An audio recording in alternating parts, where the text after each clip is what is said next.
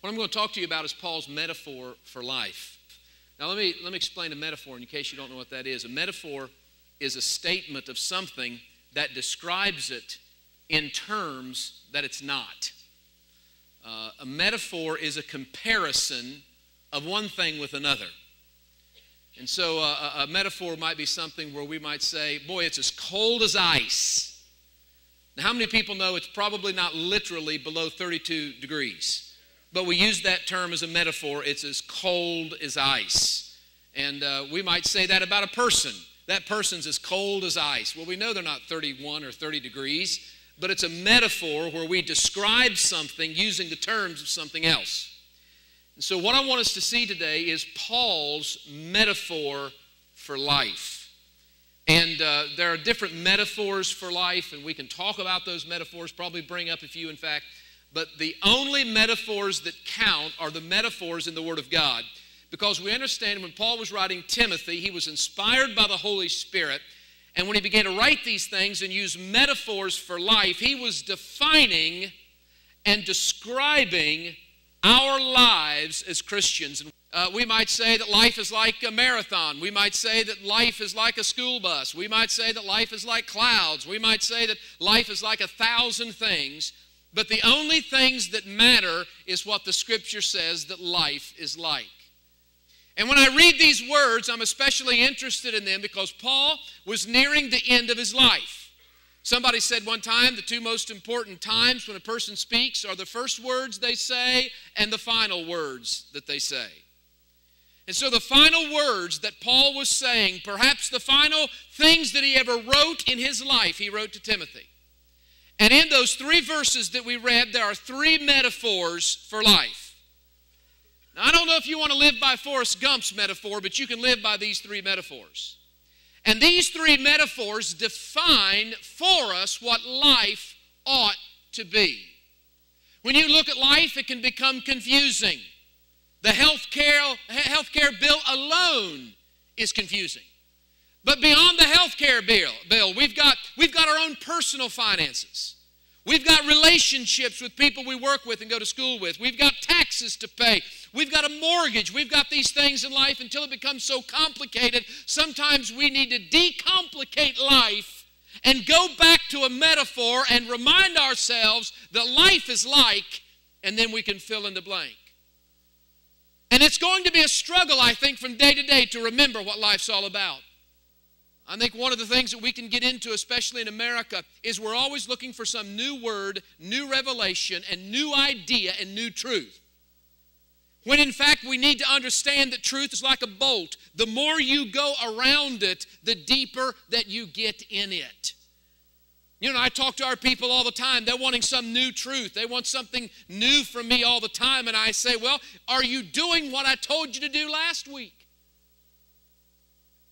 So, what I'm trying to do is not necessarily say anything new to you today, but to remind us what life is all about. The first thing that Paul says when he talks about life is that life is like an offering. Specifically, life is like a drink offering. And the question we have to answer is Is what you're living for worth dying for? Because the fact of the matter is this everyone in here is going to be poured out for something. And I don't know what you're being poured out for. Some people get poured out for love, they get poured out for other people. Some people pour their life out for their job. They pour their life out for popularity. They pour their life out for material wealth. They pour their life out for prestige.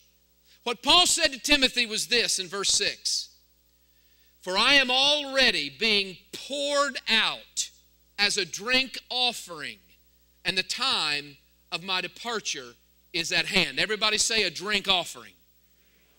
The first thing that Paul says here is that life is like a drink offering, and that is you are going to be poured out for something.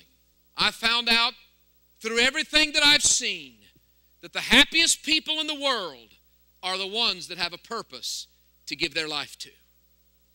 You see, I believe when we preach a gospel of convenience, we are robbing people from the joy of pouring their life out for something that matters.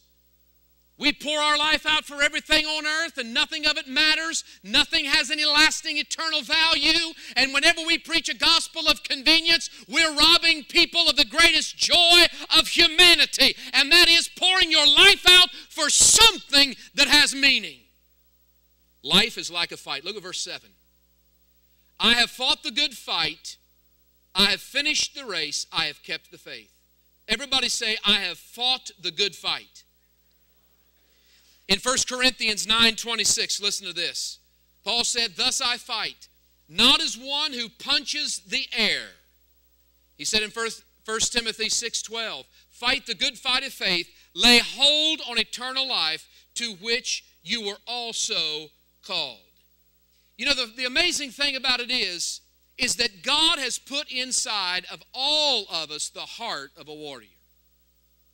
When the Bible says that life is like an offering, and then it says life is like a fight, and Paul says, I fought the good fight. Life is like a fight. The reason is because in every one of us there's fight.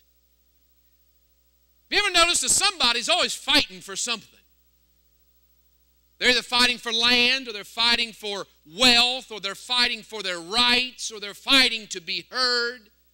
From the time that a baby is born, it begins to fight for life.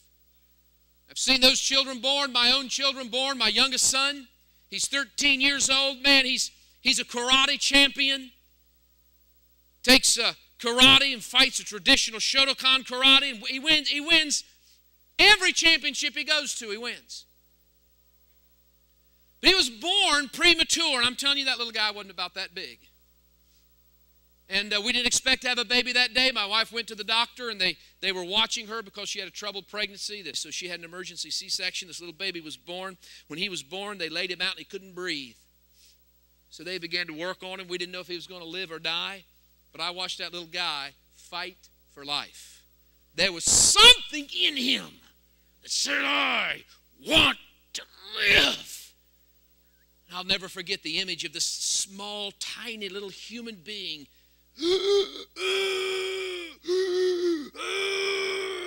with every fiber of his little body trying to draw breath into those lungs.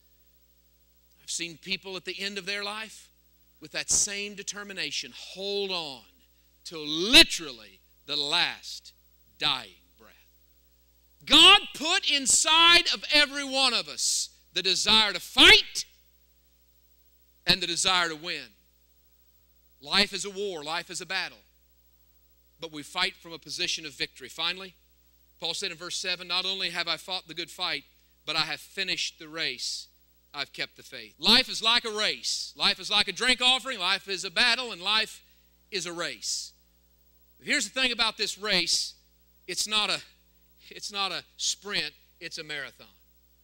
And you know, if I could do anything today, I would look each one of you in the eye and I would just say this from my perspective to encourage you and say, you got to keep on running.